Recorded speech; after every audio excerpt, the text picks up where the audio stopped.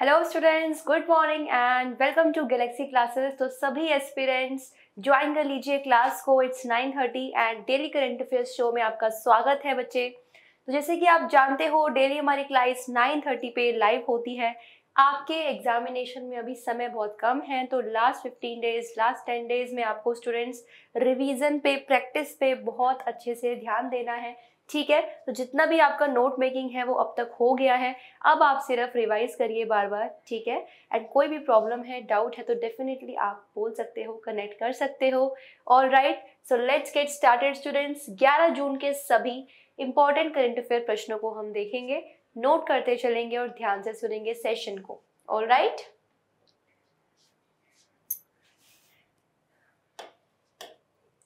देखेंगे स्टूडेंट्स यहाँ पे पहला प्रश्न क्या पूछ रहा है आपसे?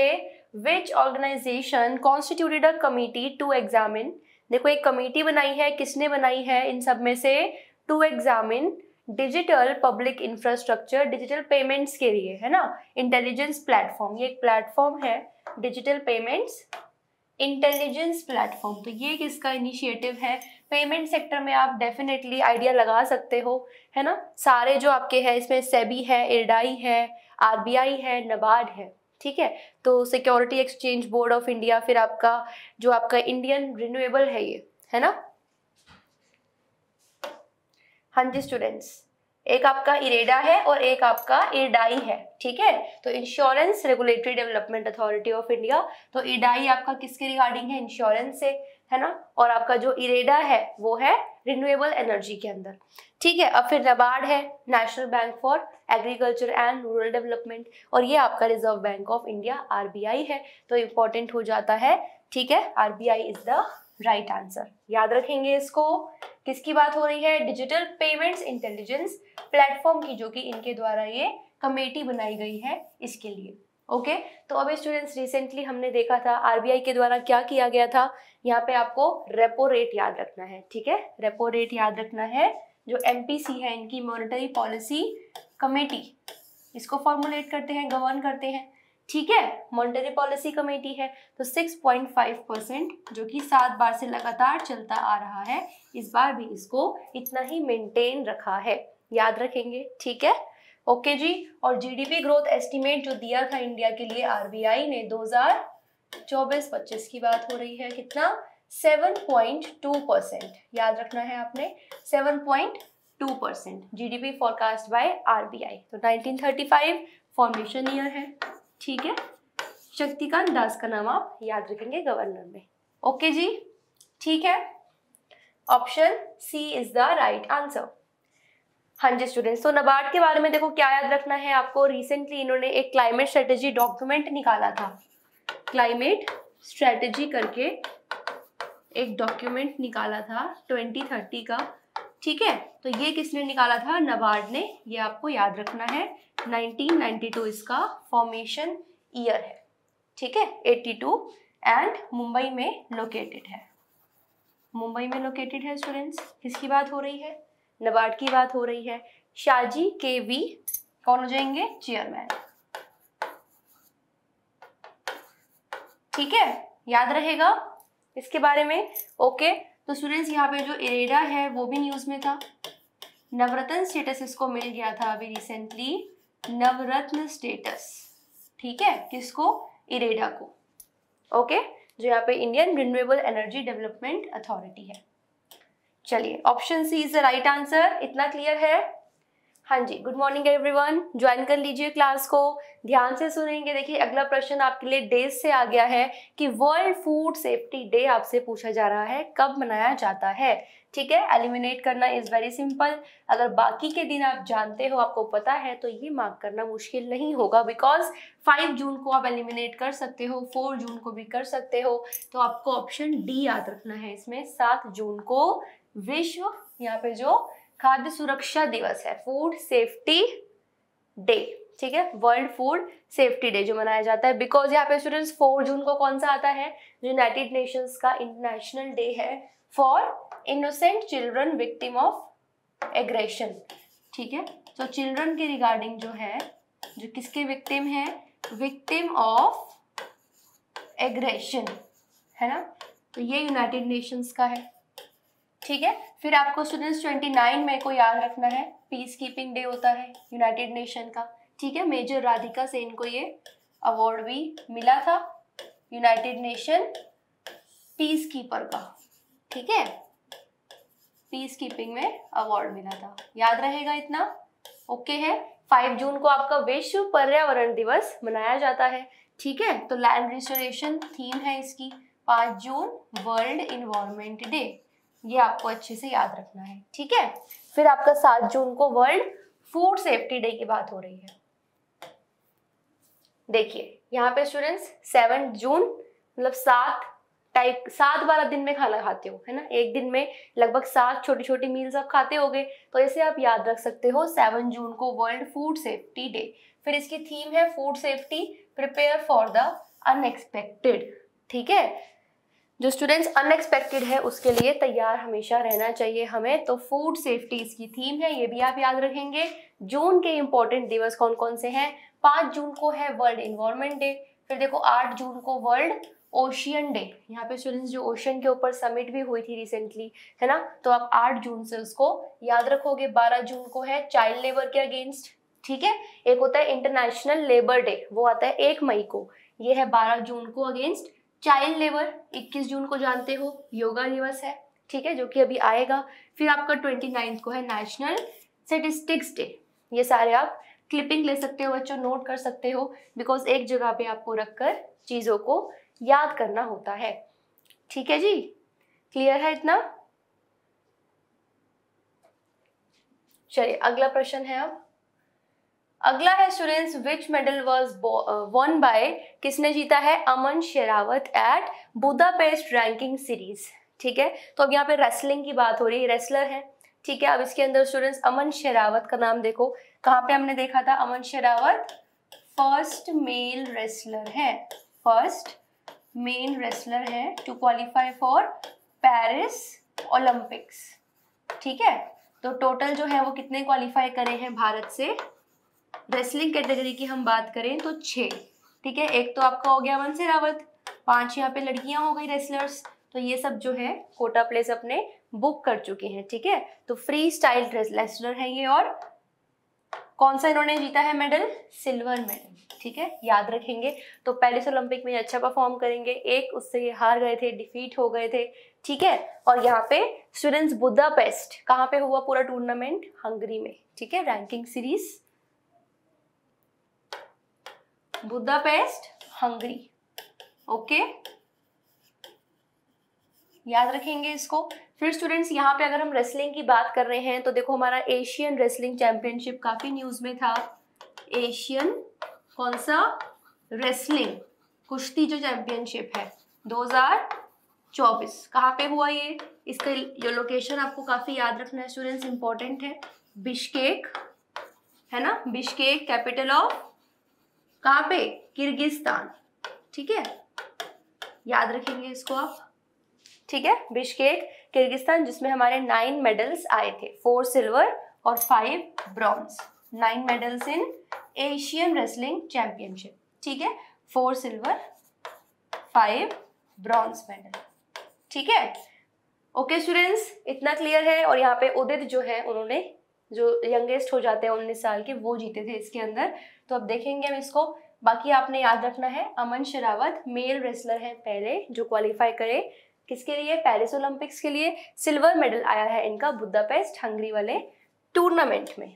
ठीक है?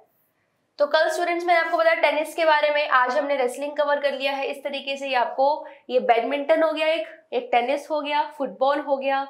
ठीक है? फिर आपका रेसलिंग आ जाता है। और कौन कौन से होते हैं आपके स्पोर्ट्स बॉक्सिंग है। तो ये सारे आपको कवर कर लेने हैं, ठीक है? स्पोर्ट्स सेक्शन के अंदर।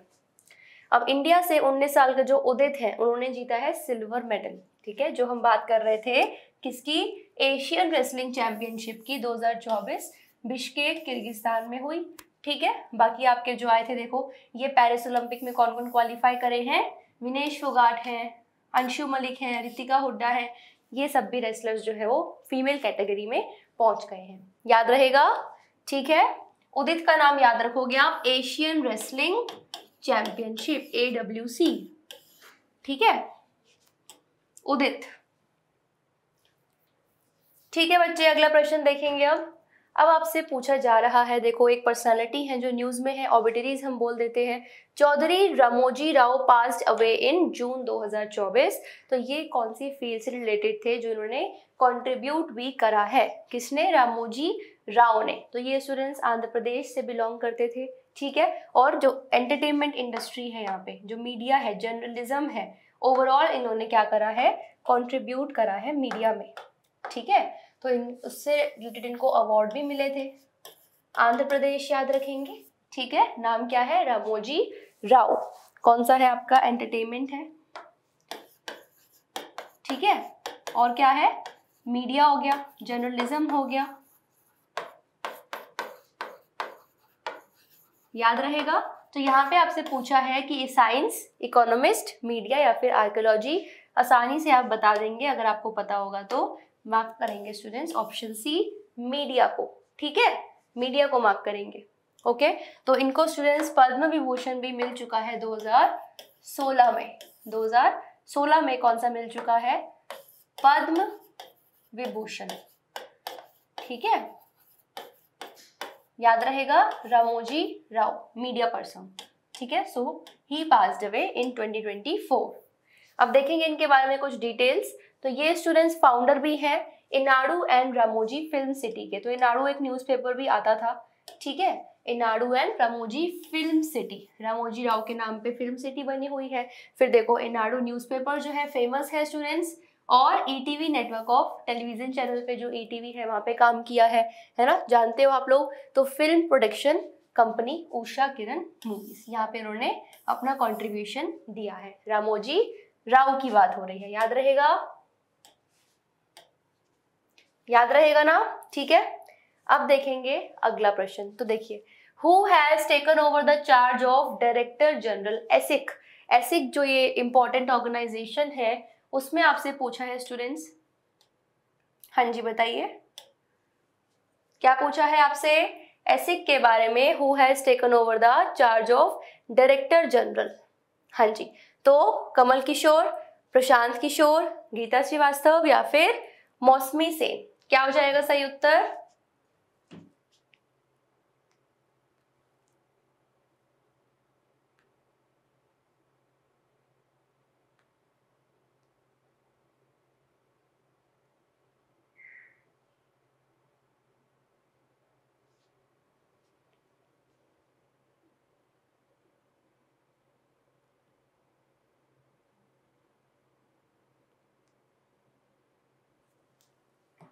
जी students I think the voice is audible to all of you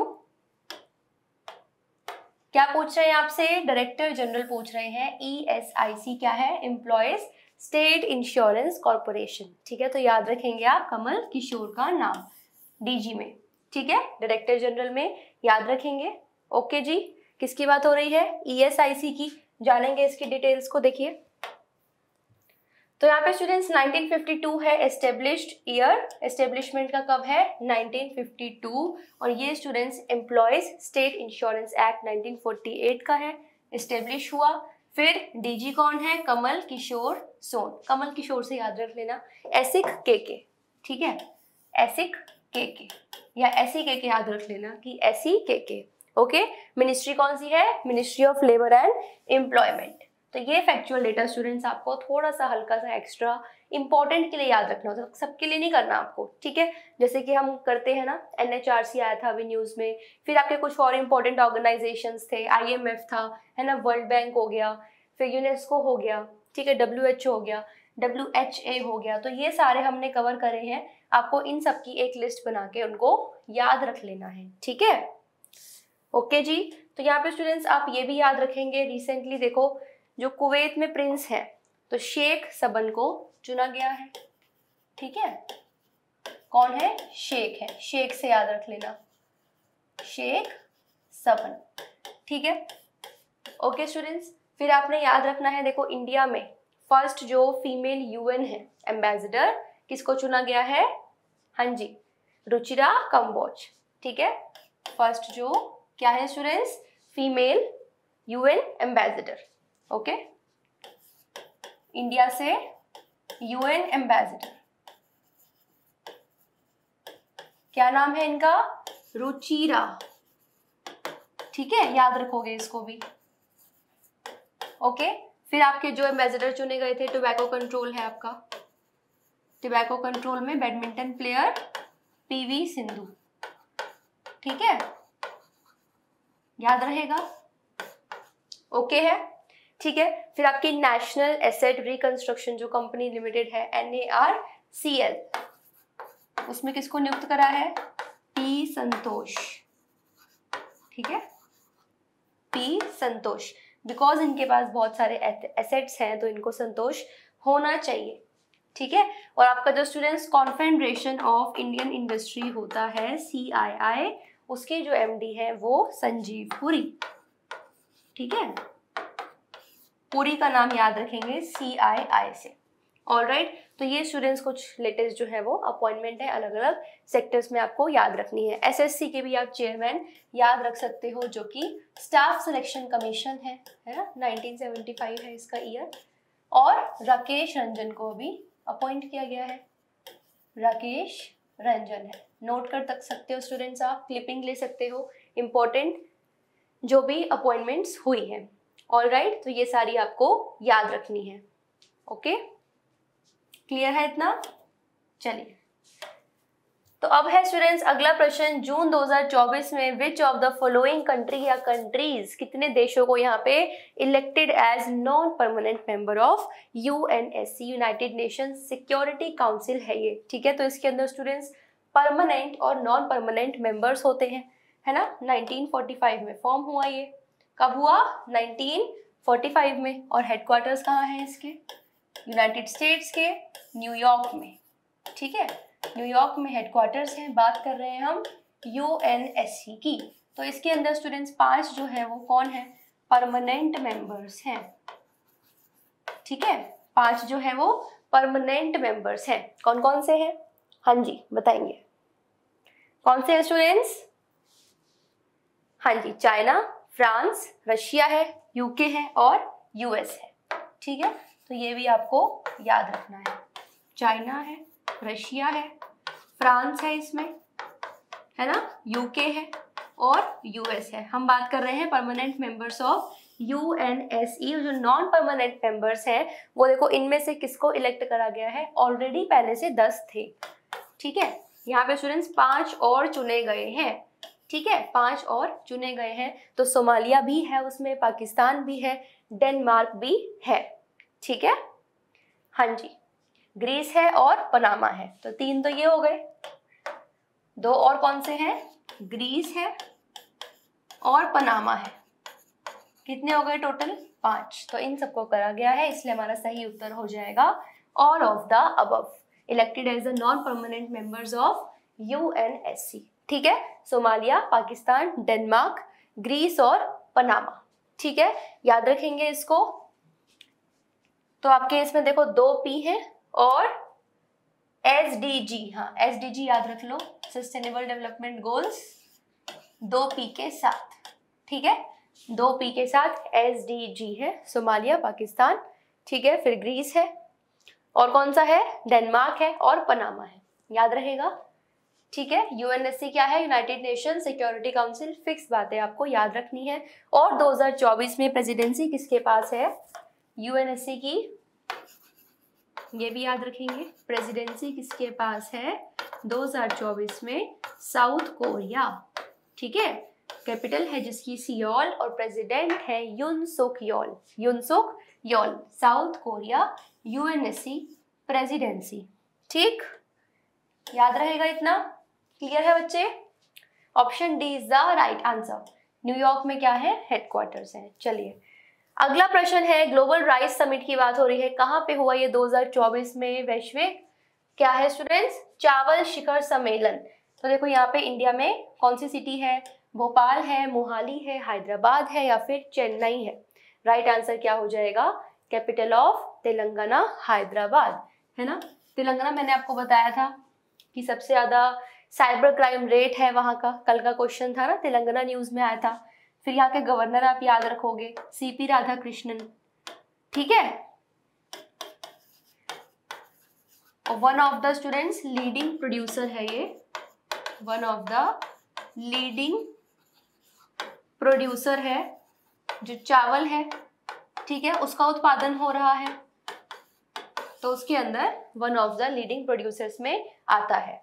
ठीक है? 26 मिलियन टन की इसकी क्या है? प्रोडक्शन कैपेसिटी है चावल में? याद रहेगा ऑप्शन सी क्या हुआ है? ग्लोबल राइस समिट अब इसके बारे में कुछ इंपॉर्टेंट फैक्ट्स जानेंगे। स्टूडेंट्स एक हमारी होती है खरीफ क्रॉप एक होती है रबी क्रॉप तो राइस कौन सी कैटेगरी में आती है? बताएँगे जल्दी से। खरीफ है ये, ठीक है? खरीफ है। अब देखो, यहाँ पे अगर हम भारत की बात करें तो largest rice producing state India में कौन सा है? वेस्ट बंगाल है, याद रखेंगे इसको। वेस्ट बंगाल टॉप में है प्रोडक्शन में। और अगर हम ओवरऑल दुनिया की बात करें वर्ल्ड की बात करें तो चाइना है टॉप पे और हमारी रैंक है सेकंड इन राइस प्रोडक्शन हम सेकंड रैंक पे हैं। ठीक है? चाइना है फ़र्स्ट रैंक पे लीडिंग प्रोड्यूसर है ये। फिर देखो एक इंटरनेशनल राइस रिसर्च इंस्टीट्यूट है। ठीक है? आई आर आर आई कहाँ पे है ये? फिलीपींस में है। ठीक है? Los Banos, Philippines. कौन सा है? इंटरनेशनल राइस रिसर्च इंस्टीट्यूट फिर national rice research institute N R R I पूछ सकते हैं आपसे। स्टार लगाएँगे इसको कटक पारादीप उड़ीसा पारादीप स्टूडेंट्स पोर्ट भी है उड़ीसा में। लार्जेस्ट कार्गो हैंडलिंग पोर्ट में फ़र्स्ट नंबर पे है पारादीप पोर्ट कहाँ पे लोकेटेड है? उड़ीसा पे है। उड़ीसा में है, ठीक है? N R R I national हो गया। इंटरनेशनल कहाँ है? फिलीपींस में है। याद रखेंगे इसको, ठीक है? हाँ जी, आपका जो इंडियन राइस एक्सपोर्ट फेडरेशन भी है ना इंडियन राइस एक्सपोर्ट फेडरेशन ये भी याद रखेंगे आप। इंडिया के अंदर जो हम एक्सपोर्ट करते हैं चावल का, है ना तो उसके अंदर प्रेम गर्ग हो जाते हैं इसके चेयरमैन प्रेम गर्ग, किसकी बात हो रही है? इंडियन राइस एक्सपोर्ट फेडरेशन की, ठीक है? अब देखो राइस को जो है उगने के लिए ग्रोथ के लिए क्या कंडीशंस चाहिए? 25 डिग्री सेल्सियस टेम्परेचर चाहिए इसको। 25 डिग्री सेल्सियस टेम्परेचर ह्यूमिडिटी चाहिए हाई और रेनफॉल भी हाई चाहिए, इसलिए ये खारिफ क्रॉप है और मॉनसून क्रॉप भी हम कहते हैं। 100 सेंटीमीटर से ज़्यादा की इसको बारिश चाहिए स्टूडेंट्स अधिक चाहिए, ठीक है? एनुअल की बात हो रही है। 100 सेंटीमीटर से ज़्यादा होनी चाहिए। इतना क्लियर है? राइस के बारे में। तो देखो टॉप टेन जो यहाँ पे राइस प्रोड्यूसिंग स्टेट्स हैं, आपको दिखेंगे। मैप में हमने बात करी सबसे पहले नंबर पे कौन है? वेस्ट बंगाल है राइस प्रोडक्शन में। भारत की बात करें तो वेस्ट बंगाल के बाद यूपी आ गया है पंजाब आ गया, ठीक है? फोर्थ पे उड़ीसा है, फिर बिहार है, फिर छत्तीसगढ़ है आंध्र प्रदेश है तेलंगाना है असम नाइन्थ पे है। और तमिलनाडु टेन पे है। एज इट इज़ इनको याद रखना है आपने। टॉप फाइव तो एटलीस्ट देख ही लो। वेस्ट बंगाल के बाद चलोगे तुम कहाँ? यूपी ठीक है? यूपी फिर पंजाब। थोड़ा और ऊपर जाओगे, फिर आ जाओ किनारे पे उड़ीसा ठीक है? फोर के बाद बिहार है। ऐसे पैटर्न बना लो। हमने यहाँ से स्टार्ट किया। हम थोड़ा बीच में चले गए। फिर हम ऊपर चले गए पंजाब। फिर हम कोने पे वापस आ गए उड़ीसा में, ठीक है? फिर हम बिहार चले गए और फिर छत्तीसगढ़ आ गए। इस तरीके से एक आपको क्या बना लेना है? पैटर्न बना लेना है राइस के लिए। ऐसे आप माइंड में एक मैप चलाओ कि ऐसे चला हम, ऐसे चले, ये टॉप टेन में आ जाते हैं, ठीक है? टेंथ पे है तमिलनाडु और देखो तेलंगाना की हम बात कर रहे थे जहाँ पे ग्लोबल राइस समिट हुई है हैदराबाद में तो टी एट तेलंगाना का पूछ सकते हैं कि क्या है तो एट्थ है, ठीक है? ओके स्टूडेंट्स यहाँ पे देखो मिलियन टन्स में प्रोडक्शन इनकी दे रखी है। All right right? अब देखेंगे आप देखो किसके बारे में पूछ रहे हैं। अगेन आपकी जो पर्सनैलिटी इन न्यूज़ है ए जी टे A J T John Singh pass away in June 2024 तो ये कौन से प्रोफेशन से, या फिर फ़ील्ड से रिलेटेड है? ठीक है? 2024 में निधन हो गया है। तो किस क्षेत्र या पेशे से संबंधित थे? इन ऑप्शंस में से बताएँगे आप। John Singh passed away related to which field कौन सा है? देखो आर्कियोलॉजिस्ट है। वाइल्ड लाइफ बायोलॉजिस्ट है मीडिया पर्सन या साइंटिस्ट मीडिया पर्सन तो पहले वाले थे, हम कर चुके हैं। आपको याद रखना है, देखो, इसका नाम जॉन सिंह। जो हमने पहले पढ़े थे, वो थे रामोजी राव मीडिया पर्सन में। अब ये याद रखना है वाइल्ड लाइफ बायोलॉजिस्ट है। वाइल्ड लाइफ बायोलॉजिस्ट है तो ऑप्शन बी हो जाएगा, सही उत्तर। ठीक है? तो यहाँ पे students world wild life day हमने कवर किया था। कब मनाया जाता है? तीन मार्च को। ठीक है? कब आता है? तीन मार्च को। कौन सा? World wild life day. जो भी वाइल्ड लाइफ से रिलेटेड हमने इंपॉर्टेंट बातें करी थी, वो हम देखेंगे। क्वेश्चन आपका किसी भी तरीके से पूछ सकते हैं। ठीक है? फिर देखिए, अगला एक डे है आपका। 22 मई को जो मनाते हैं।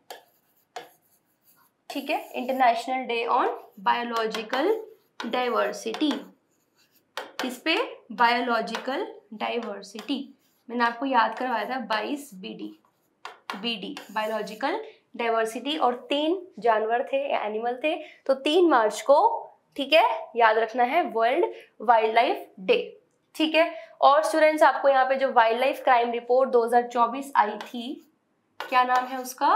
वाइल्ड लाइफ क्राइम रिपोर्ट 2024 तो इसके अंदर बताया गया था कि सबसे ज़्यादा अवैध जो हो रहा है व्यापार इलीगल ट्रेड हो रहा है, किसके साथ हो रहा है यहाँ पे? तो फ़र्स्ट नंबर पे राइनो था। राइनो ठीक है? राइनोसिरोस तो राइनो हो गया, फिर आपका पेंगोलिन और थर्ड पे एलिफेंट का याद रखोगे। एलिफेंट का याद रखोगे, ठीक है? एलिफेंट और टाइगर के बारे में हमने डिटेल में पढ़ा भी था, है ना? टाइगर रिजर्व्स की भी बात करी थी हमने, ठीक है? इतना क्लियर है? Option B is the right answer अब देखो इनके बारे में। कौन से अवार्ड्स इनको मिले हैं इस कैटेगरी में? तो नेम है जॉन सिंह ठीक है? जॉन सिंह सिंह से याद रखना वाइल्ड लाइफ शेर, है ना? फिर देखो नोटेबल फ़ील्ड वर्क इन्होंने काम करा है फ्री रेंजिंग मैमल्स पे एल्पिनिस पे। तो यहाँ पे देखो Bandipur tiger reserve students Bandipur tiger reserve में। फिर आपका मुंडनथुराई टाइगर रिज़र्व है ना? ठीक है? सत्यमंगलम है ये टाइगर रिज़र्व तो सत्यमंगलम मंदनथुराई कहाँ पे है ये? तमिलनाडु में। ठीक है? तमिलनाडु में है, याद रखेंगे, Sathyamangalam Mundanthurai tiger reserve. तो ये भी एस्टेब्लिश करने में इनका योगदान था किसका? जॉन सिंह का। ठीक है? फिर देखो इनको 2004 में ये अवार्ड मिला था वाइल्ड लाइफ कंजर्वेशन के लिए। कार्ल जिस अवार्ड कार्ल जिस अवार्ड 2005 में देखो life time wild life service award इनको मिला था A B N A M R O life time wild life के अंदर इनको काफ़ी अवार्ड्स मिल चुके हैं तो नाम याद रखना है और पद्मश्री से भी इनको सम्मानित किया जा चुका है बेटा। ठीक है? ओके जॉन सिंह ठीक है ना बेटा? अब देखो, अगला प्रश्न है। Which country became the first nation to evacuate island community over climate change तो यहाँ पे आइलैंड्स है, समुद्र है सी लेवल राइज हो गया है और यहाँ पर दिक्कत होने लगी है कम्युनिटीज को, समुदाय को, ठीक है? तो आइलैंड कम्युनिटीज को इवैक्यूएट करने में पहला देश कौन सा बन गया है? एक हमने देखा था कौन सा देश है जिन्होंने अपने सारे ग्लेशियर्स लॉस्ट कर दिए हैं, खत्म हो गए हैं ग्लेशियर्स ठीक है? ग्लेशियर्स जो हैं, वो खत्म हो गए हैं वेनेजुएला में।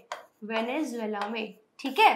फिर आपका एक जो ऐसा कॉन्टिनेंट है, जो सबसे ज़्यादा तेज़ी से गर्म हो रहा है, ऐसा कौन सा कॉन्टिनेंट है बच्चों? विश्व में महाद्वीप कौन सा है, जो कि फास्टेस्ट वार्मिंग है? पूछ सकते हैं, ये फास्टेस्ट लॉन्गेस्ट फ़र्स्ट ऐसे क्वेश्चंस जो आते हैं ना तो यूरोप का नाम आपने याद रखना है। यूरोप का याद रखना है, ठीक है? इसमें आपका आइलैंड कम्युनिटी के लिए पनामा याद रखेंगे, पनामा, ठीक है? Option D is the right answer ठीक है? पनामा कैपिटल है पनामा सिटी तो option D island community evacuation from the climate change impact तो यहाँ पे इनका नेचुरल एक इशू आ गया है नेचुरल क्लाइमेटिक खागी है, ठीक है? कैलमिटी जो होती है, उसके चलते स्टूडेंट्स इवैक्यूएशन हुआ है। इतना क्लियर है? कोई दिक्कत? अब देखो यहाँ पे। According to the world gold council world gold council gold की बात हो रही है, सोने की बात हो रही है। आप लोगों ने भी इन्वेस्टमेंट करी होगी सोने में, है ना? इंडिया के अंदर जो है रेट्स काफ़ी बढ़ रहे हैं गोल्ड के कभी स्टेबल हो जाते हैं, फिर कभी डिमांड इतनी बढ़ जाती है। और बाहर के जो लोग हैं ना, वो भी काफ़ी ज़्यादा इन्वेस्ट करते हैं हमारे भारत में, ठीक है? तो इस तरीके से स्टूडेंट्स आपको देखना है कि who was the third biggest gold buyer gold की खरीदारी में तीसरा सबसे बड़ा कौन सा देश है? सोने को खरीदने की बात हो रही है। गोल्ड बाइंग में कौन सा है? थर्ड बिगेस्ट गोल्ड बयर पूछा है आपसे। इंडिया, चाइना, ऑस्ट्रेलिया या फिर स्विट्जरलैंड? चारों में से सही उत्तर, हमारा भारत, है ना? हमारा भारत जो है स्टूडेंट्स इंडिया। ठीक है? आई थ्री याद रखोगे। तो यहाँ पे ये सोलर पावर जनरेशन में या प्रोडक्शन में भी थर्ड नंबर पे आ गया है अभी। सोलर पावर प्रोडक्शन में या फिर जनरेशन में, ठीक है? और गोल्ड बायर के अंदर भी सोना जो खरीदना है, उसके अंदर भी थर्ड रैंक है इंडिया थ्री याद रखेंगे आफ्टर स्विट्जरलैंड एंड चाइना तो ये आपका थर्ड नंबर पे आ जाता है। अब स्टूडेंट्स गोल्ड है गोल्ड रिजर्व्स गोल्ड प्रोडक्शन के अंदर हम कुछ फैक्ट्स और डेटा की बात करेंगे, जिससे आपको क्लियर हो जाएगा कि यहाँ पे माइंस कौन कौन सी है, जो खदान है सोने की कहाँ कहाँ पे है, कौन सी लार्जेस्ट प्रोडक्शन कर रही है तो देखो लार्जेस्ट जो है गोल्ड माइन के रिज़र्व इसको नोट करिएगा स्टैटिक का है स्टूडेंट्स डेटा आपका, जो ज्योग्राफी का टॉपिक है, उसमें जो मिनरल्स है गोल्ड हमारा एक बहुत ही प्रीशियस मेटल है। गोल्ड क्या है? मेटल है और मिनरल भी है। नेचुरली पाया जाता है, ठीक है? हार्ड होता है गोल्ड प्योर होता है इनर्ट स्टेट में होता है नेटिव में, ठीक है? तो ये जो है स्टूडेंट्स गोल्ड है मेटल है। अब देखो लार्जेस्ट गोल्ड माइन रिज़र्व कहाँ पे है? ऑस्ट्रेलिया में। ठीक है? फिर इंडिया में कर्नाटका टॉप पर है फ़र्स्ट में। ठीक है? कोलार फील्ड्स भी है वहाँ पे। अब देखो largest gold reserves in India Bihar में है। दो बातें होती हैं। एक होता है प्रोडक्शन कैसे हो रही है? एक होता है कि पाया कहाँ जा रहा है। पाया तो बिहार में जा रहा है। ठीक है? बीजी याद रखना। बीजी वेट गोल्ड रिजर्व्स की बात हो रही है ना? तो हाँ आरजीबी या आरबीजी है ना? हम बोलते हैं ना रेड ग्रीन ब्लू कलर्स होते हैं। तो याद रखना रिजर्व्स बिहार में गोल्ड के सबसे ज़्यादा है, भारत में। फिर प्रोड्यूसर सबसे ज़्यादा जो बड़ा है वो कौन है? कर्नाटका है जीपीआर गोल्ड का प्रोड्यूसर जीपीके सॉरी या केपीजी ठीक है? केपीजी लिख लो। लिखो, इसको कोडवर्ड होते हैं ये। कर्नाटका प्रोड्यूसर गोल्ड का, ठीक है? आरजीबी रिजर्व्स गोल्ड के बिहार में। ठीक है? दो बातें क्लियर ऑस्ट्रेलिया हो गया टॉप पे, फिर आपका ग्लोबल में चाइना आता है। ठीक है? तीसरे पे हमारा भारत है। पहले पे चाइना है। तो ये चारों बातें स्टूडेंट्स कंफ्यूजिंग है, लेकिन अब याद रहेंगे आपको। ठीक है? फिर यहाँ पे देखेंगे टॉप प्रोड्यूसर्स में, चाइना, ऑस्ट्रेलिया, रशिया, ये सब आते हैं। फिर अपना भारत है थर्ड पे। चाइना का देखो है 330 टन्स 2023 का डेटा है ये। तो 330 टन्स यहाँ पे प्रोडक्शन है, फिर ऑस्ट्रेलिया है रशिया है, ठीक है? 300 टन्स अगर हम बात करें स्टूडेंट्स यहाँ पे एनुअल प्रोडक्शन तो 1.6 टन्स ठीक है? किसकी? 2023 की। बट अगर हम रिजर्व्स की बात करें तो 660 टन्स हो जाते हैं। रिजर्व्स में 660 टन्स पे आता है इंडिया और टॉप माइंस कहाँ कहाँ पे है? देखो, कोलार है है ना? गोल्ड फील्ड्स रामागिरी है, कर्नाटका में है ये, है ना? कोलार गोल्ड फ़ील्ड हट्टी है हट्टी है और रामागिरी है। याद रखेंगे इसको, ये है हमारी गोल्ड की माइंस। कंजम्पशन हमारा हर जो साल का है, साढ़े आठ सौ टन तक कंज्यूम कर रहे हैं और ग्लोबल रैंक प्रोडक्शन में तो काफ़ी ज़्यादा है। फोर्टी रैंक पे है, लेकिन रिजर्व्स में अगर हम बात करें तो आपको याद रखनी है, ठीक है? ओके है? लार्जेस्ट रिजर्व्स ऑस्ट्रेलिया में है। मेजर गोल्ड माइंस, देखो, इंडोनेशिया में है ग्रासबर्ग फिर मुरनताऊ उज्बेकिस्तान और साउथ अफ्रीका। तो इंडोनेशिया में, उज्बेकिस्तान में, ठीक है? क्लियर है? ऑस्ट्रेलिया में मैक्सिमम रिजर्व्स आप कह सकते हो। याद रहेंगे ये फैक्ट्स नोट आप कर सकते हो प्रोडक्शन पूछ सकते हैं रिजर्व्स पूछ सकते हैं टॉप थ्री में पूछ सकते हैं और इंडिया की रैंक पूछ सकते हैं। ठीक है? बता दिया आपको मैंने सारा गोल्ड से रिलेटेड अब याद रहेगा। है ना? तो ये स्टूडेंट्स क्वेश्चन आपका था। ये देखो। वर्ल्ड गोल्ड काउंसिल के अकॉर्डिंग यहाँ पे थर्ड बिगेस्ट गोल्ड बायर पूछा है तो इंडिया हो जाता है। ठीक है? फिर प्रोडक्शन और रिजर्व्स भी आपको याद रखने हैं। ग्लोबल रैंक प्रोडक्शन में 40 है। ठीक है? रिजर्व्स हमारे 660 टन्स हैं।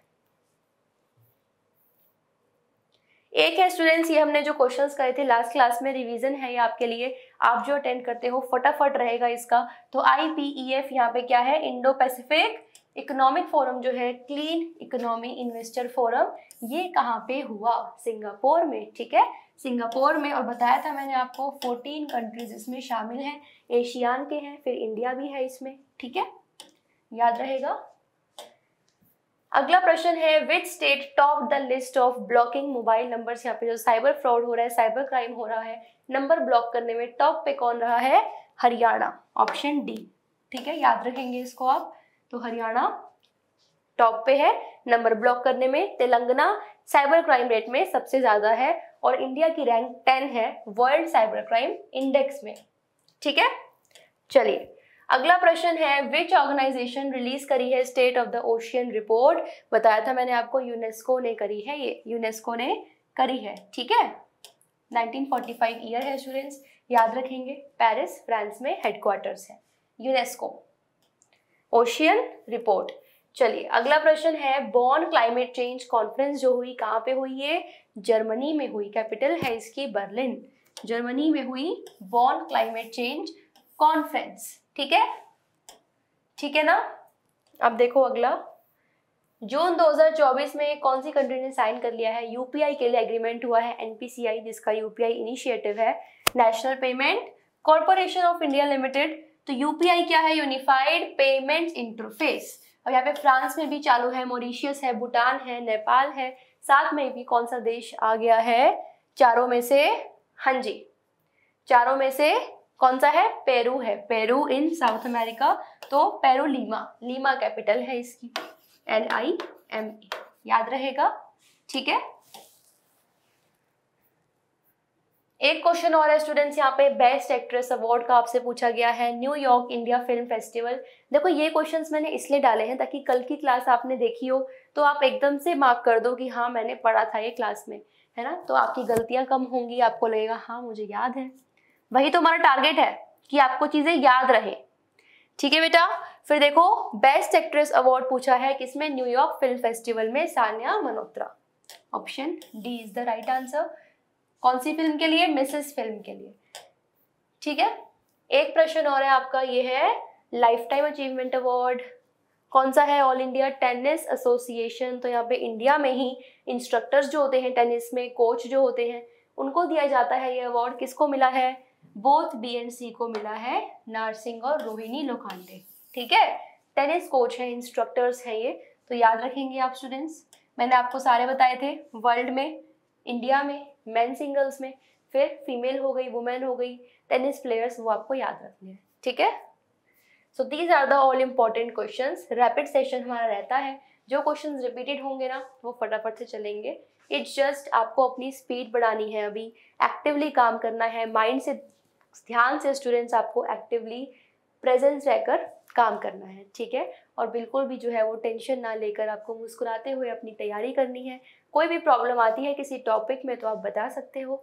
कोई सेक्शन जो आपको लगता है कि इम्पोर्टेंट है, आपको याद नहीं हो पा रहा है, वो मैं आपको याद करने के लिए बता सकती हूँ। आप डेफिनेटली सजेस्ट करना मुझे, ठीक है?